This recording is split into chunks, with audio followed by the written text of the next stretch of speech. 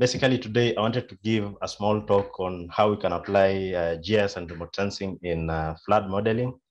Just like I said, I'm uh, enthusiastic about uh, applications of GIS in uh, water and environment. And today I just want to give a short talk on how we can apply maybe GIS in uh, flood modeling. But in the process of doing all this, I'll also take you through on hydrological modeling and what hydrological modeling is all about the data needs because I'm quite sure some of the students maybe here or even the participants, those who are not even students, might be maybe engaged in some uh, projects which could maybe require you to do some flood modeling. So basically, this is the outline of my presentation.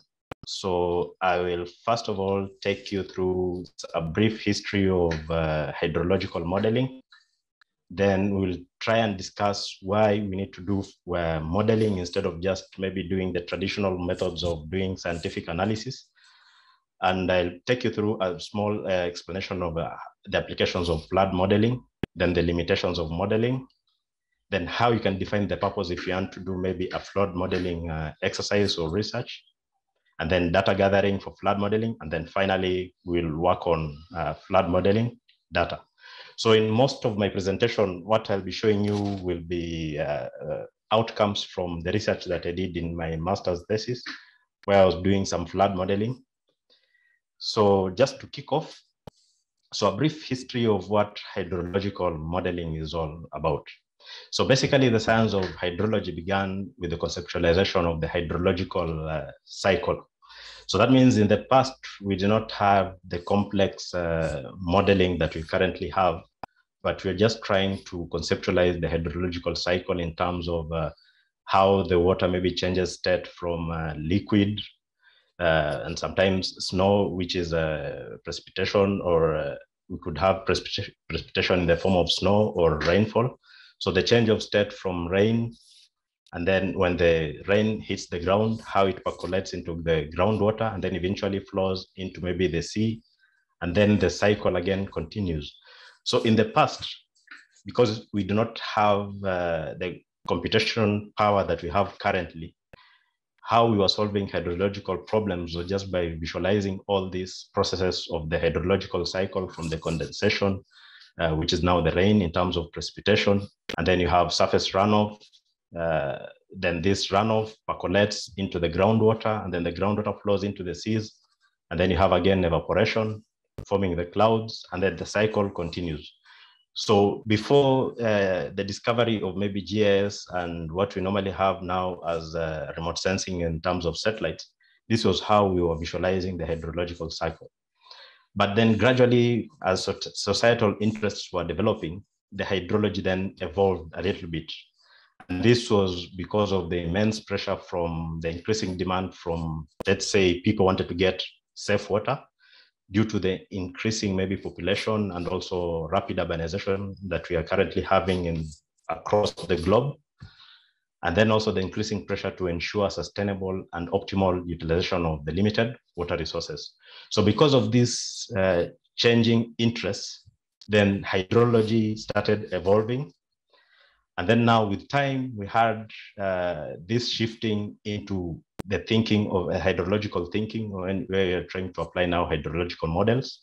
And this was mainly focused on quantitative uh, assessments. So when you talk of quantitative analysis, it means you're not only looking at the hydrological cycle in terms of uh, the precipitation or rainfall and underground maybe percolation and how much condensation you have, but you're now trying to uh, quantitatively maybe calculate the water balance in terms of how much water is available, how much water can be extracted, maybe from the groundwater, from the surface water uh, uh, recharge, and also from maybe precipitation if you're doing maybe rainwater harvesting. And you're also now trying to analyze what are the effects of hydraulic, hydraulic heads. Now, when you talk of hydraulic heads, you're just trying to see uh, if you're doing maybe extraction of groundwater, how is this going to affect maybe nearby uh, wells or nearby water bodies? So you see now we have a, a, slight shift from the traditional thinking of the hydrological cycle, and you're now trying to quantify the different components, the rainfall, infiltration, surface runoff, and eventually now the evaporation. So we are now trying to quantify all those by using models like the picture, the top picture on the top right, which I'm now trying to show you. So it means now we are not only thinking of the different components of the hydrological cycle, but we are now trying to compute the water balance, quantifying how much volumes of water we have in each of these uh, uh, maybe components of the water balance. And then now you try to simulate, uh, in case you are maybe having scenarios, you try to simulate this over time and see how you can optimize this for maybe uh, water abstraction. But then the major issue in this case was how you do the modeling, because you are trying now to quantify these effects and trying to simulate, like you can see the picture at the bottom right here. So the top row, these green values are actually rainfall. And then the graphs at the bottom is like um, the discharge measurements uh, on a river. So, and then you can see you have uh, one graph in blue and then you have another graph in red. So the red graph is actually uh, the results of a model. So you're trying to come up to maybe characterize the water balance and try to simulate the river flow so that you can try to maybe simulate how the river will be varying with the changing rainfall patterns at the top. And then now this, you're now trying to quantify the volumes of water because from this water measurements, you can be able to quantify how much water will be flowing inside the river channel. Now, um, still thinking about how hydrological modeling was evolving. Currently, now we are focusing more on qualitative analysis because right now we are having issues to do with the quality of water. If, if it is groundwater, most of it is saline. Uh, we're also having the dwindling, maybe the water volumes are, the water quality is really being affected maybe by uh, excessive droughts, and then you're having salination. So right now, we are more interested in uh, qualitative analysis of the hydrological cycle, and that is in terms of pollution of surface water by maybe point and diffuse. Uh, an example of a diffuse uh, pollutant is agriculture. And you can also have maybe groundwater pollution due to spills and industrial activities. So these pictures are just now trying to show you currently, this is now how we are taking hydrological modeling. We are taking actually an integrated approach so that now we are trying to look at the quality of that water in terms of uh, trying to analyze all the aspects of uh, economy, uh, environment, and at the same time meeting the needs of the future as well as the current. That is to say, sustainable maybe development or harnessing of this water resources.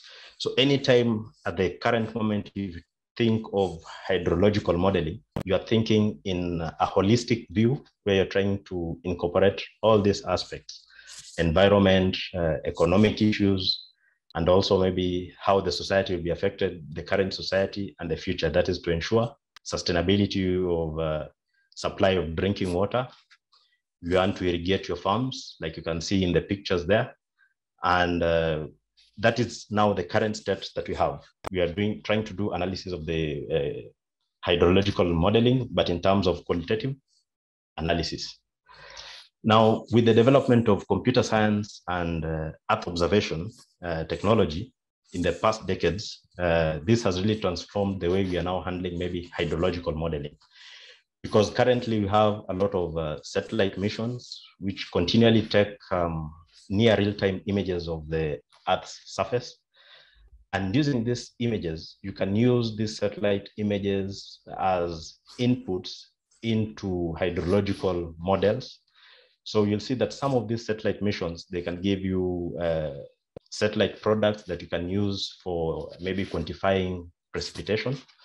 So you don't really need to go to a place to get uh, rainfall data of the place, but you can now resort to using satellite data.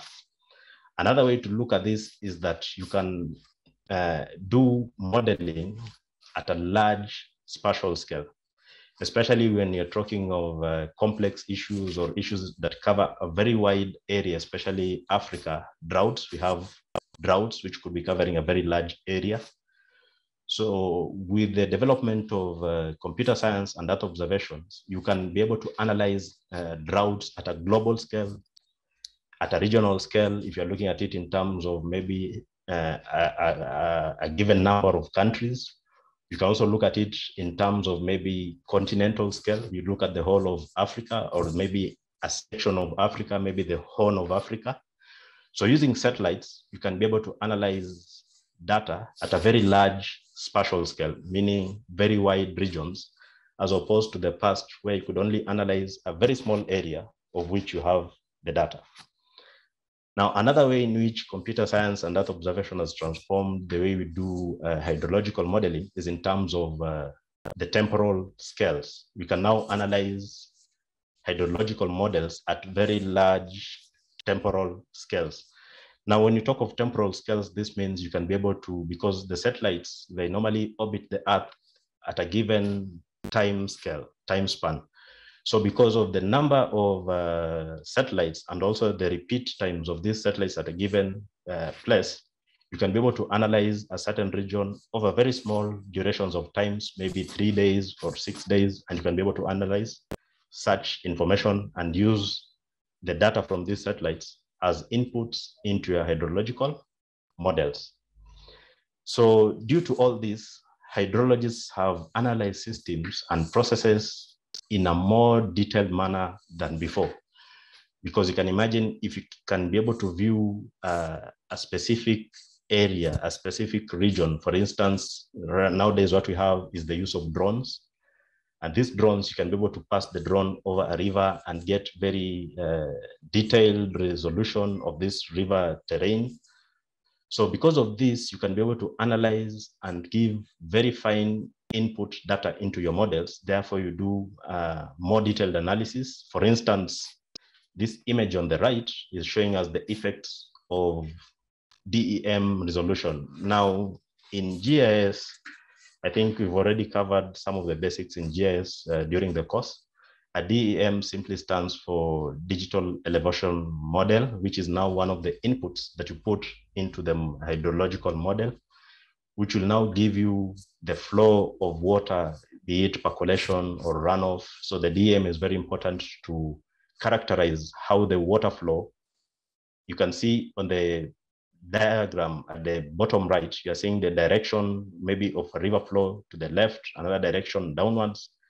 So the smaller the resolution, the more uh, descriptive your model can be. Like you can see uh, the bottom uh, right image, you have a bigger number of arrows, which can be able to show very tiny river flows or even maybe surface water flows within your model.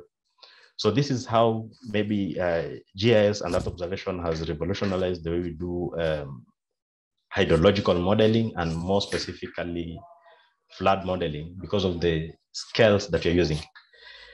Now, another way in which uh, this has helped is with the smaller computation time, time steps, we have smaller computation time steps.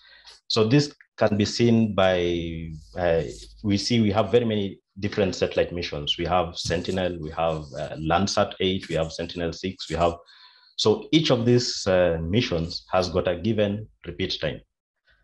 And if you want to analyze maybe data in an interval of one day for the past maybe 20 years, then you would go for a given satellite mission that can be able to give you uh, this sort of information so that you can use uh, those satellite uh, images for your input. So you can even analyze data at a very small time span. And another way of reducing this time is by using uh, maybe drones. If you have a drone, you can easily fly it over an area and get the images for that area over very short durations of time. And you can use these ones as your inputs for your model. Now, why do we need to do modeling? This is now the important question. Why don't we just sit down and then do analysis of uh, your catchment, maybe do some flood modeling if you want to analyze flood in a city? Why don't we just sit down and then do it in terms of uh, reports, write maybe a 20 page document? Why do we need to use a model? This is because hydrology and water resource engineering are subjects of very great importance for people and the environment. Because if you look at flooding within a city, it is going to impact on very many issues. Livelihoods, some people are going to lose maybe property, you're going to lose maybe uh, others are going to get injured. So if you want to resolve and maybe reduce all these impacts of maybe let's say a flood, then a good way of doing this by, is by using flood modeling. And a flood model, like the image at the bottom, this is another example of simulation of a river flow, where at the top here, the blue graph, these are actually uh, precipitation levels. And then what you have here, the graph, are simulations of, as you can see on the legend, you have soil moisture.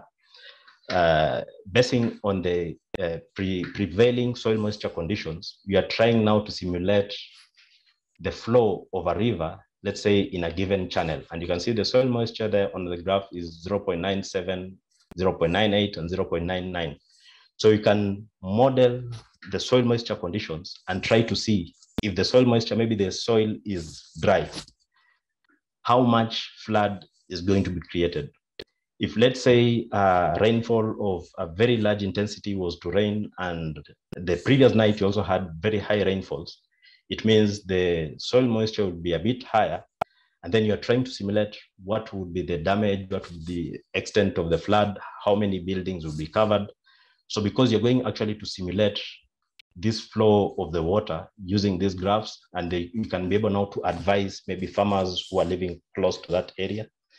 Or if it is you're looking at it in terms of a town, you can be able to advise uh, in terms of evacuation processes, how many estates are going to be impacted, how many households are going to be impacted. So using a model, you can be able to show this very accurately and uh, very easily to even a layman. Now, um, some distinct examples of how we apply hydrological modeling is, for example, in flood control. So you can use models to do flood controlling. You can also apply models for water supply. This could be both surface water and groundwater, trying to quantify how much water is flowing on the river and how much water is flowing maybe into the uh, groundwater for groundwater recharge and how much volume of water is in the ground. You could also do modeling for wastewater treatments, how the water is treated, how this impacts on uh, uh, maybe pollution into a nearby river or whichever surface water that you're looking at. Another form of doing hydrological model is in irrigation and drainage. Now, in modeling for irrigation and drainage, you're trying now to simulate the soil moisture conditions and trying to see how this will impact maybe on crop development and even the yield of the farm. So you can be able to advise uh, farmers on when to irrigate the land, when to maybe do cropping, just by analyzing uh, the soil moisture conditions, which is also a domain of hydrological modeling. You can also do erosion and sediment control, how much erosion is maybe going into a river or how many maybe landslides, uh, what is the extent of a landslide you can be able to simulate this and be, be able to maybe do disaster or risk management. Another uh, distinct uh, application of hydrological modeling is in pollution reduction, where you can be able to simulate how the pollutants will be flowing, let's say, in the water resource, which could be uh, the star, which is a river, a lake, or even the ocean, or you can even do a more complex study in terms of looking at it in pollution of groundwater, and then you do this model modeling to see how much pollution is going to happen. Now, uh, now we go a bit more into flood modeling. Uh, the previous slides, they were just giving you an overview of hydrological modeling. But right now we want to go now into the uh, flood modeling in detail. And as I mentioned before, most of the illustrations that I'm going to use are based on the research that I did in a region in uh, the Netherlands. But basically, the same same method and the same criteria can also be used in other regions just to do maybe flood simulations and flood modeling. So what are some of the applications of flood modeling? So the first one, you want to simulate. You want to simulate how much flood extent you're going to have and what areas are going to be uh, maybe flooded and for how uh, for maybe for how many days or what is the duration of this flooding is it going to be is the flooding just going to ha happen maybe for one second and then disappear or is it going to last maybe two or three days so the best way to do this is by using uh, model simulations. And here again, you're having uh, at the top rainfall data which you feed into your model, and then you try to simulate the river flow. And you can see here at the bottom legend, you have a time scale. So if you are to do some early warning systems, you would be able to warn the people maybe here where you have the peaks of the river flow. That's when you're going to have maybe flood scenarios. And you can actually be able to show this in the next slide. You're going to see you can be able to transform it from the graphs into a map. We are not only showing the volumes of water, but you can also now show this in terms of maps showing the extent of areas that are going to be covered. But the most important thing when you're doing any modeling, you should have, you should do calibration and model validation. Now I'm going to explain what calibration is and what validation is in the slides that uh, come next. So you can also do, uh, you can use hydrological models to do uh, forecasting. So here in this case, we are seeing some maps and these maps, the one at the top left is showing us a flood extent for rainfall with a return period of twice in one year. So what is happening here, you, you've done some maybe statistical analysis to qu quantify how much rainfall, the probability of a given rain happening, and then you feed this volume of water or this, uh, this maybe uh, amount of rainfall into your model.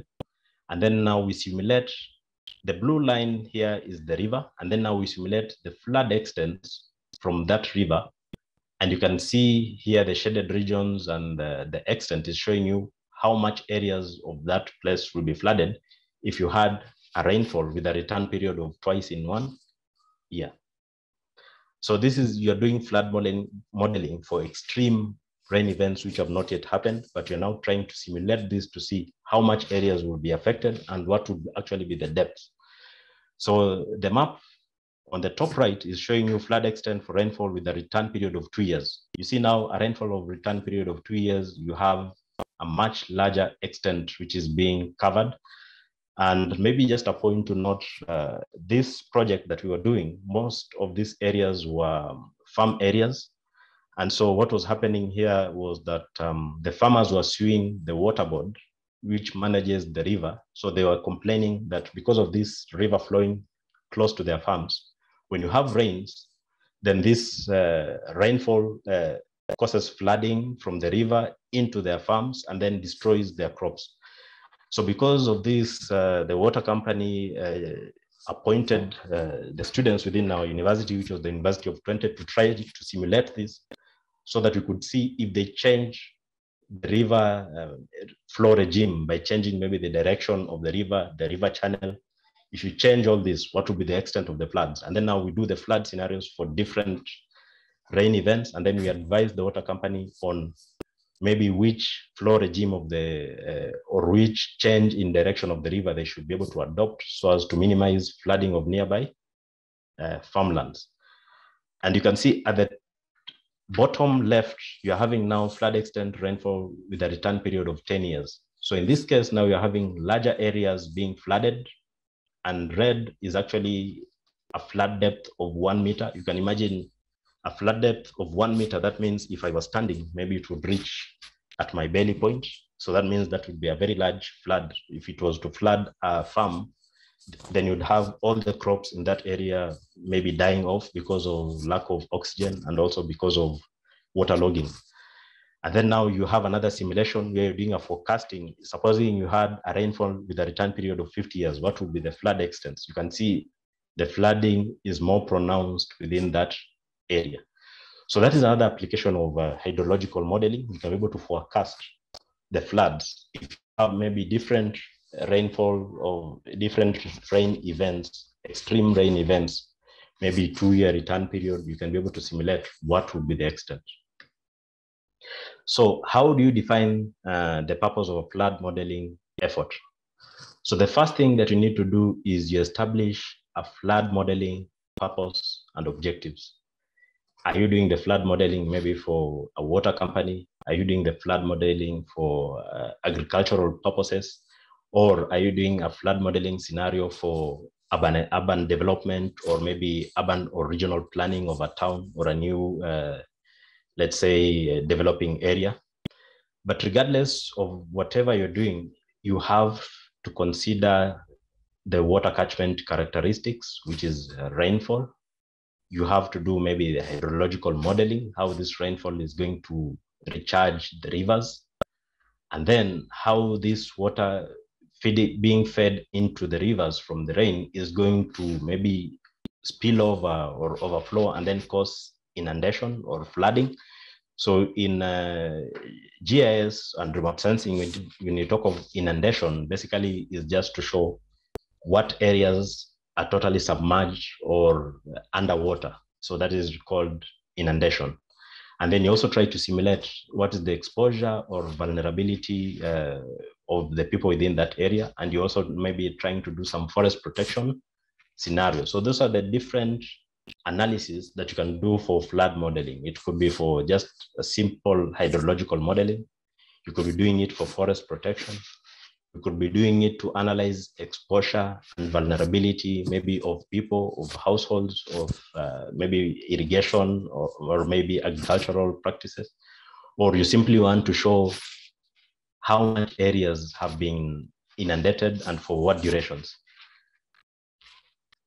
In all this flooding or modeling uh, exercise that you do, before starting any of this or any of the design of a flood modeling, you need to ask yourself some basic questions like uh, what is the application of the model? Is it going for a scientific journal? Is it for an engineering management, maybe urban development? So this gives you uh, how complex your model should be. If it is simply to warn maybe villagers, you cannot make the complex, uh, make a complex model. But if you're doing a flood modeling for a scientific journal, then you need to make it a bit more complex. Now, another question that you need to ask yourself is, what do you want to learn from that model?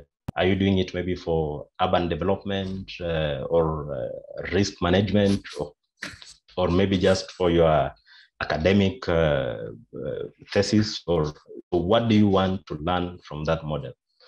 And then you also need to ask yourself, what questions do you want the model to answer? Are you trying to answer just simply flood extents, what areas will be flooded? Or do you want to go further and show for what maybe what would be the duration of this flood? How, how long is it going to flood that particular area?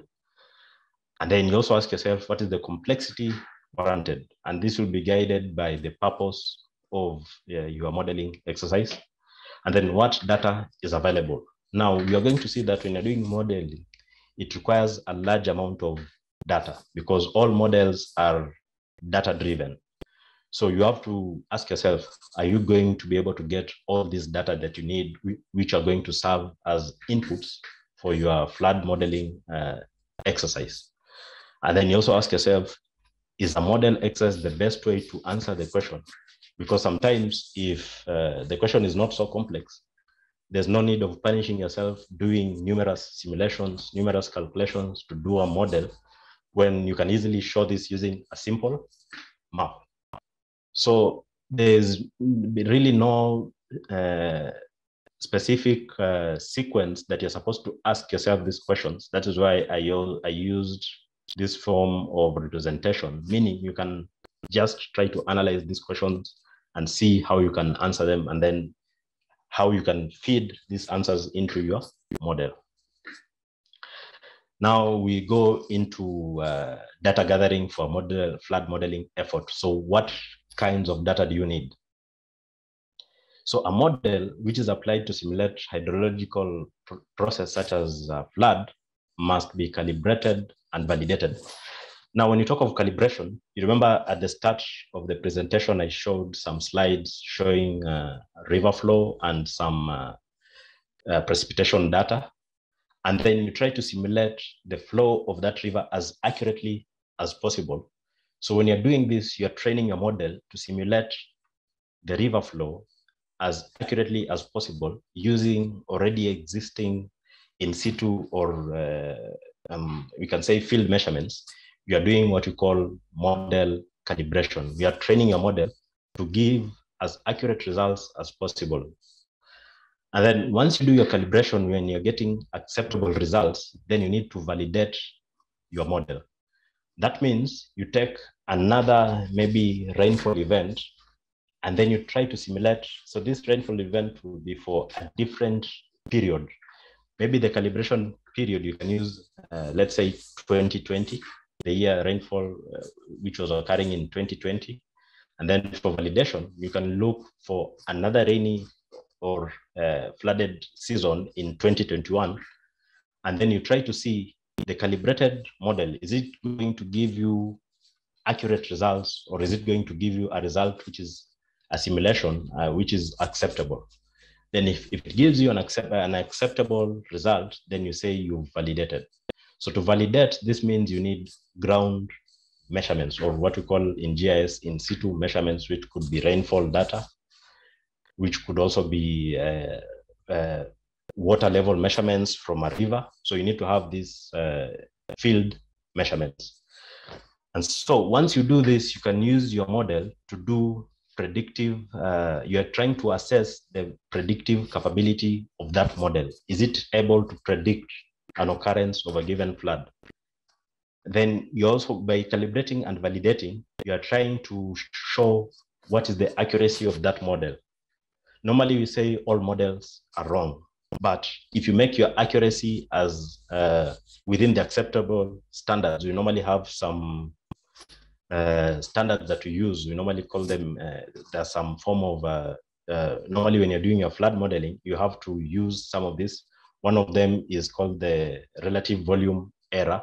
You try to see what error you're getting. If it is acceptable, then you say your model is accurate.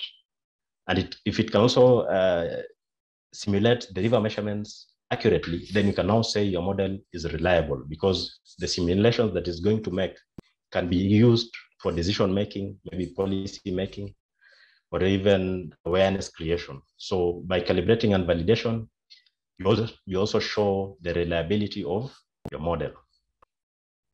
Now, this is the downside of uh, modeling because uh, in most cases, it is very difficult to get reliable and sufficient data, especially here in Africa, where you are having river measurement, you don't have river measurements. Some areas you don't have rainfall data for that area. So data is very scarce because, the, because there's no field measurements. And so uh, this is because it is very expensive to do field data collection. And it, also, it is also very labor intensive. So this is true for most parts of Africa. But now the uh, the upcoming of uh, let's say remotely sensed data is trying to solve this issue of uh, expense and but now the the other problem is uh, skilled personnel who can be able to analyze such information. People who are gis uh, maybe gis technicals. It is very difficult to come across. So when you're doing flood modeling these are the data that you need as input data for your model. You need rainfall data, and you could collect data for the duration that you need. If it is for climate change uh, analysis, then you need rainfall data for a very long period of time, and then you analyze this data and you use it as your input. You also need stream or river gauge measurements. So as I mentioned, uh, most of what I'm presenting is based from uh, research that I did for my thesis. And so on the picture here, you can see this was my supervisor. So what you're doing here, there's a river, and this device that is lifting is an automatic uh, uh, river gauge measurement that does automatic registration of the river measurements and then records this after every five minutes. So you need some stream or river gauge measurements. And you can see some of this technology, uh, we have not yet invested in Africa. We still rely on uh, using the traditional rain gauge measurements which are not very accurate because when you send some somebody in the field, he or she can just sit somewhere and then guess some river gauge measurements.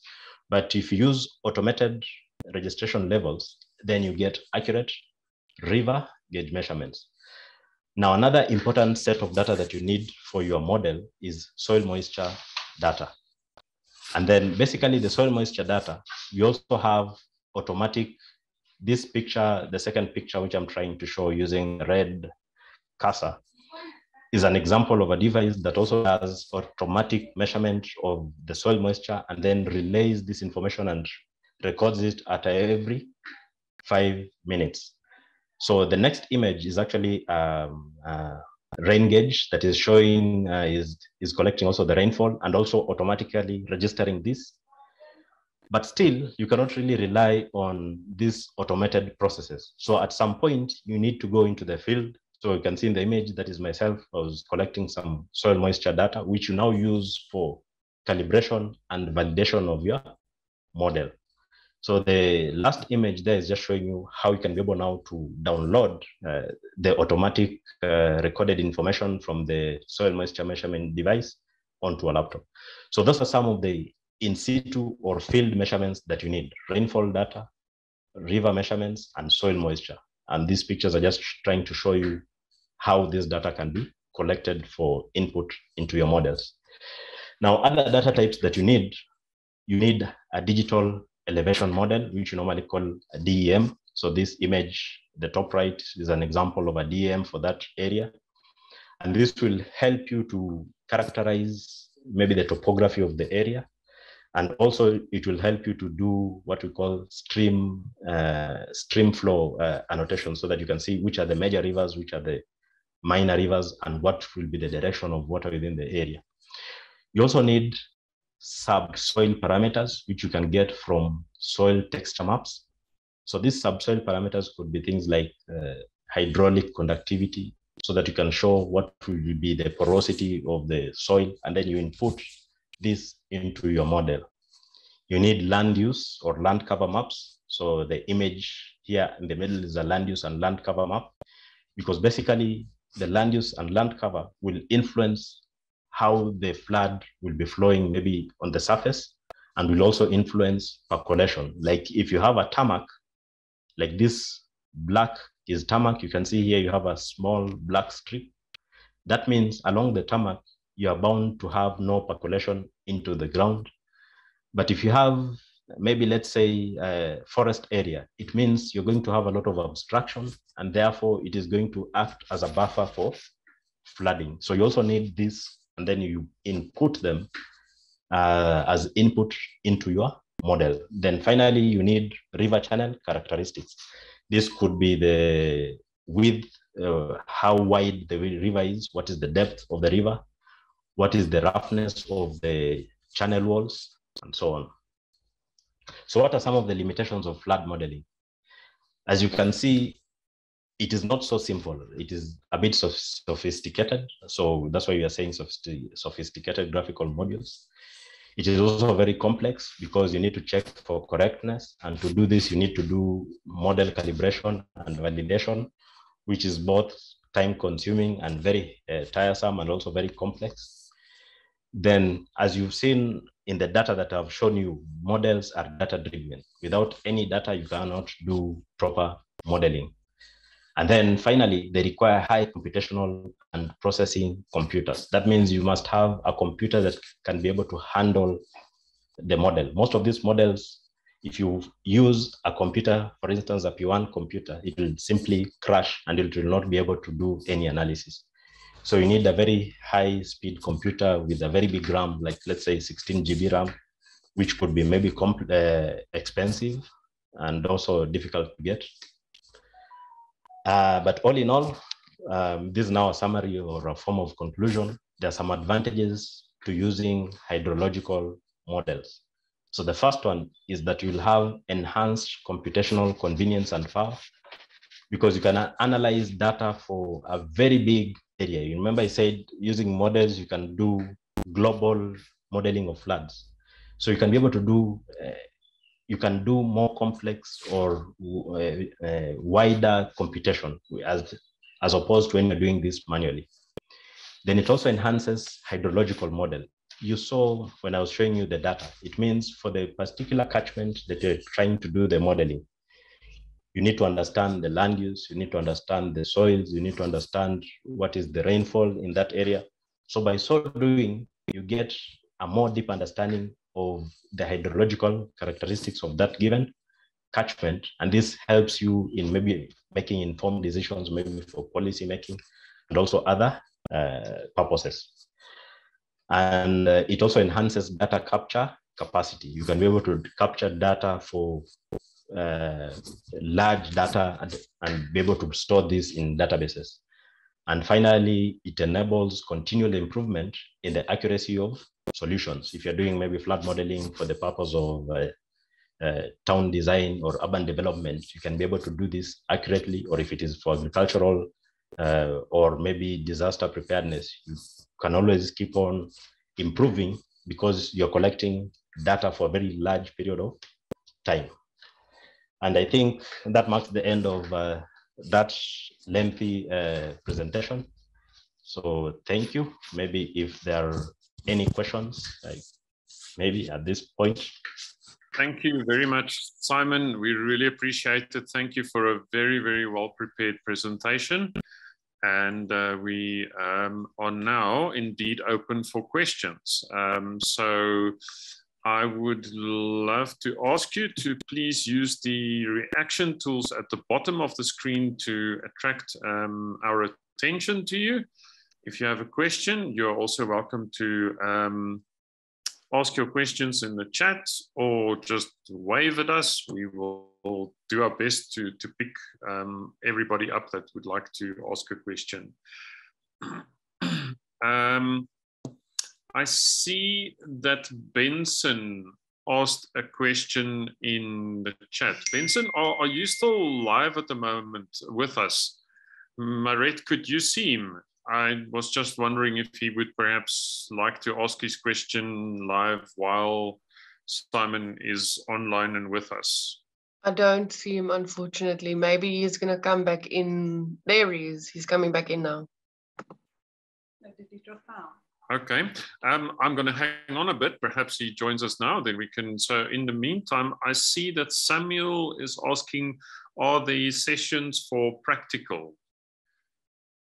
Um, well, the, the course. Yeah, what I would like to to draw your attention to is the is the course by by SAEON, um, the South African Environmental Observation Network that is available to all of you with practical work and examples, and then also the mapping clinic that's ha happening again on the 8th of April, where you can um, ask Jonathan Gatwood to demonstrate any particular G, uh, GIS problem that, that you might have. So I see um, Maret is kindly sharing for us all the links in the chat that you can that you might need to um, have access to the um, SAEON course as well as the software that you need. Thanks for that, for that, Maret. And I see Nzolo is asking, can we get the details of the presenter, especially the um, email? I missed that part if he, if he showed them. Um, Simon, that is up to you if you want to share your email. You're, I'm going to leave that up to you to decide. Otherwise, if um, Nzolo, if you have specific questions, you're welcome to send it to admin at sharescreenafrica.org and we can direct it to the presenter that might be best suited to your question. And once again, please join us on the 8th of April, where you will have um, the opportunity to ask questions to Jonathan Gatwood, and he's, you know, very capable to um, demonstrate to you how to handle that issue um, in GIS. Right, there we have a actual question related to the handling of data. What is what size, what is the size of in situ data required for flood modeling? Um, Simon, there's a question for you. Yeah, yes. So thank you. I think that's yeah, yeah, Chenge, if I'm pronouncing correct. So basically, when you're talking of in situ data, this would depend on is it rainfall data or is it soil moisture? Because if it is soil moisture, it would be very difficult maybe for you to get uh, in situ data, let's say for every day. Maybe you can decide and use uh, 10 day data, soil moisture data. But if you're looking at it in terms of uh, the crucial data types like rainfall, then you need uh, more data. For instance, uh, water level measurements. You might need maybe daily measurements. So maybe the guiding principle there would be what is the objective of your flood modeling exercise.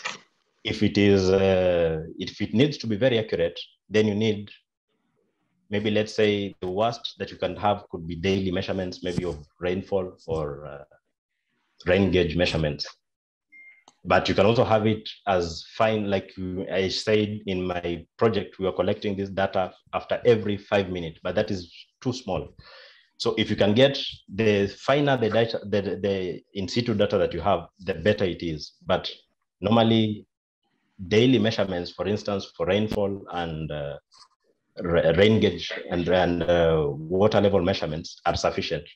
And then for aspects like soil moisture, this would depend on how frequent you can be able to go into the field and get this. But I think daily measurements is sufficient, but then this is subject to the objective of your study and also the scale. If you're looking at it at a global scale, then that means you do not need very fine data. But if you're looking at a very small project, then you need a smaller time interval. So this would be guided by the objective or or maybe the availability of that data. So the objective of your maybe research or your flood modeling and the availability of this data. I think that would be sufficient.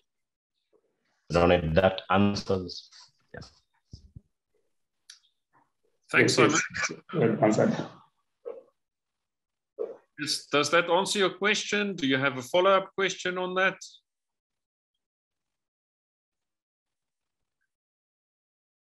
I'm assuming you're okay with that answer. Um, Samuel is asking in the chat, what are some of the free sources of rainfall temperature uh, data? How, is, how easy is it to obtain DEM data? What GIS tools are important for hydrological modeling? There's a lot of questions in there. Um, Simon, you are welcome to go ahead. Just unmuting you there. Yes. So thank you. So maybe I can give you one. Uh, let me see if I can just be able to send you one of the good data that you can use is called Glovis USGS.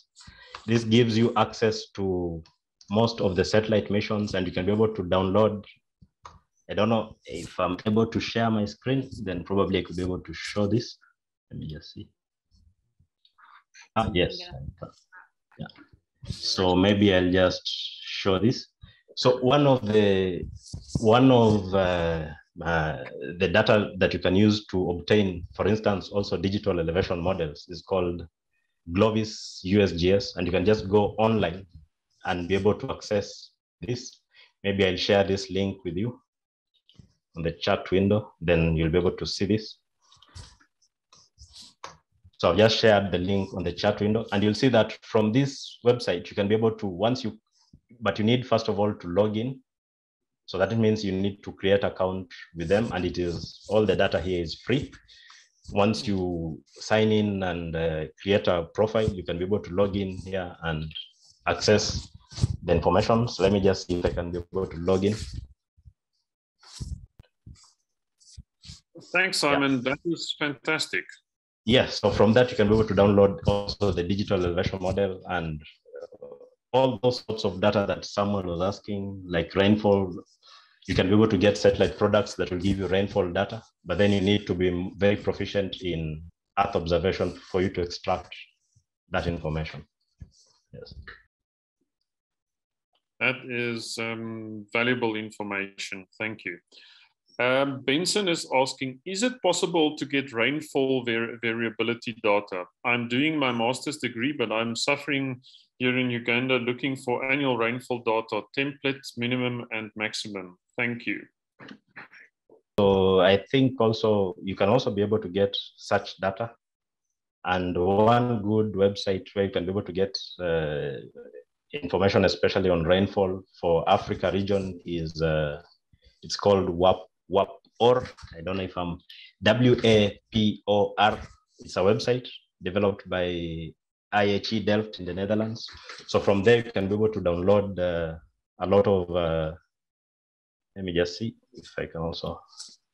So it's called WAPOR. So let me just see if I can be able to get this.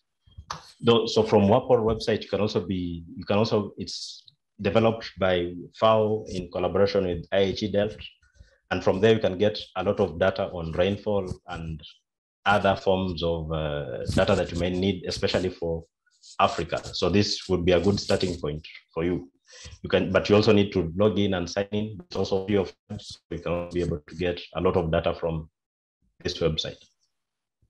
So I'll also just share the link to the site there so that you can be able to access that. That's that's very valuable. A lot of um, practical tips coming through this afternoon of where to find data sets. That's fantastic. Um, I would also just like to mention there is a student that's asking at the moment um, that messaged me to ask if we will be offering a certificate um, at the end of the course. So what we can do is we can offer you a letter of attendance or a certificate of attendance but we are not a as as such sharescreen africa is not a registered training institute. We are a learning resource for other universities and we connect universities with experts and experts with um, experience such as simon. So we don't want to compete with universities and colleges at all. Um, but just to point out when it comes to the it industry and gis definitely forms part of the IT industry. Your employers are very much interested in your capabilities and what you have done and what projects you have worked on and what work experience you can show.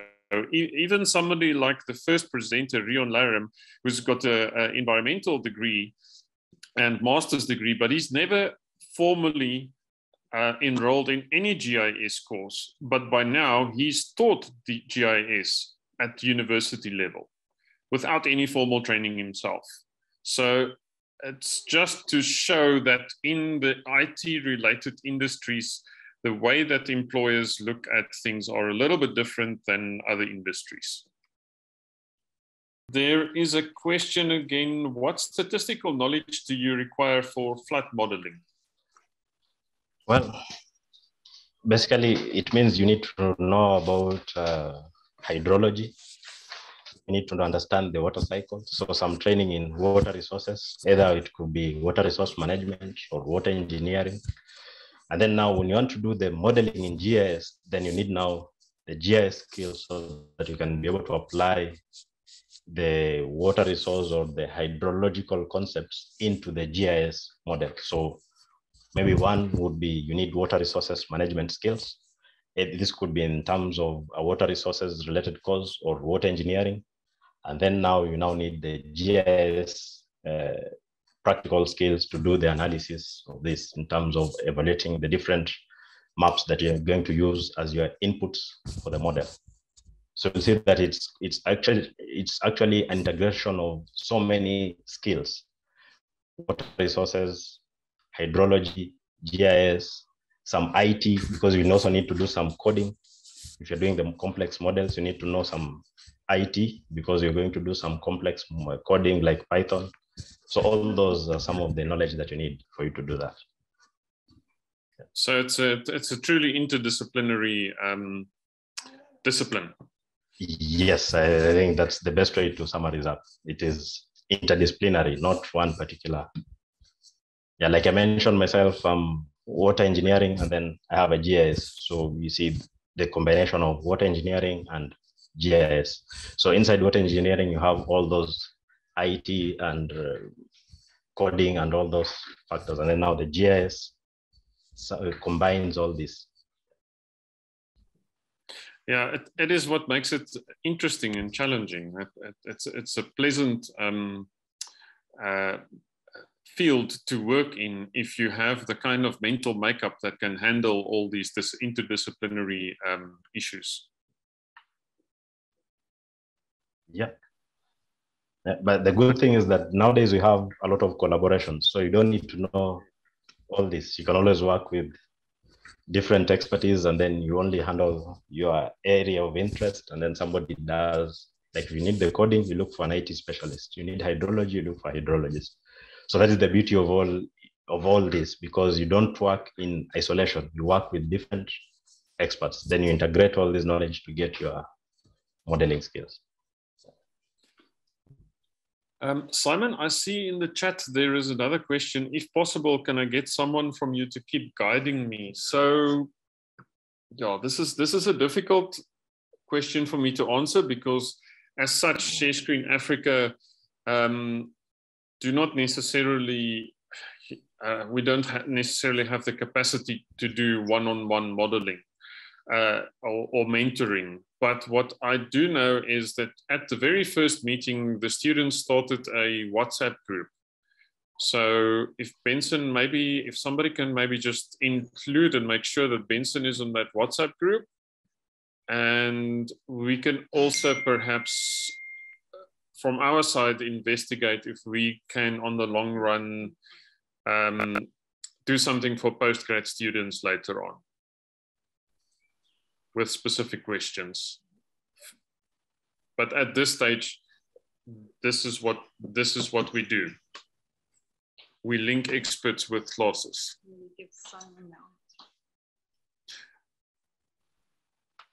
Anybody else? Any other questions? Simon, thank you very much for this afternoon. I really appreciate your time. I think we are coming to the end of the session if I don't um, see any hands at the moment. And then I would just like to thank you and um, would like to invite and remind all the students to please attend the next session on the 8th of April with Jonathan Gatwood. Please bring your session, your, um, your questions and attend that session. Thank you very much. I see no further questions. So Simon, thank you very much. And we're going to greet you and say goodbye until next time.